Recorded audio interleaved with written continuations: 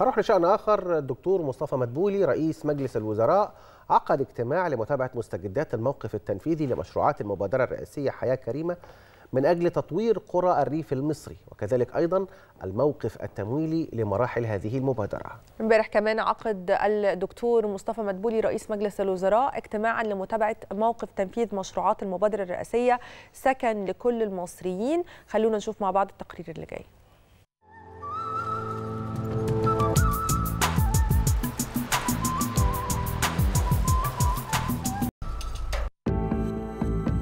خلونا نبدأ بأهم الأخبار اللي حصلت امبارح.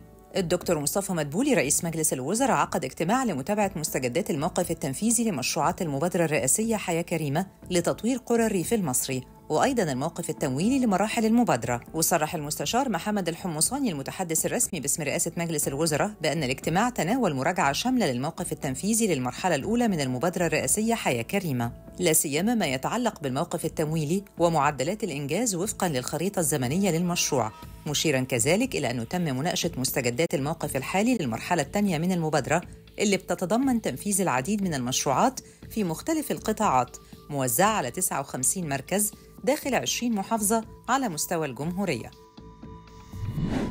امبارح عقد الدكتور مصطفى مدبولي رئيس مجلس الوزراء اجتماع لمتابعة موقف تنفيذ مشروعات المبادرة الرئاسية سكن لكل المصريين. وأشار مدبولي إلى أن المبادرة تعد من أهم المبادرات خاصة لشريحة محدودي الدخل. لذلك تعمل الدولة على استمرارها والحفاظ عليها حيث تسهم في تحقيق الاستقرار لشبابنا عبر توفير وحدات سكنية ملائمة بأسعار مناسبة كما تخدم أهداف تحقيق العدالة الاجتماعية.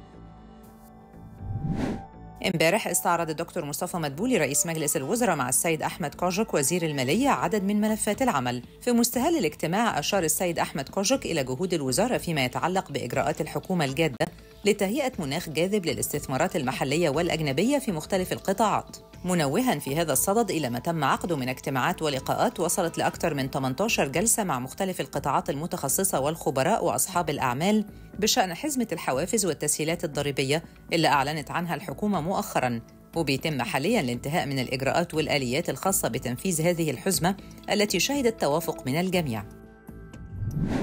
امبارح أصدر الدكتور مصطفى مدبولي رئيس مجلس الوزراء قرار بأن يكون يوم الأحد المقبل الموافق 6 من شهر أكتوبر 2024 أجازة رسمية مدفوعة الأجر في الوزارات والمصالح الحكومية والهيئات العامة ووحدات الإدارة المحلية وشركات القطاع العام وقطاع الأعمال العام والقطاع الخاص بمناسبة عيد القوات المسلحة نصر 6 أكتوبر.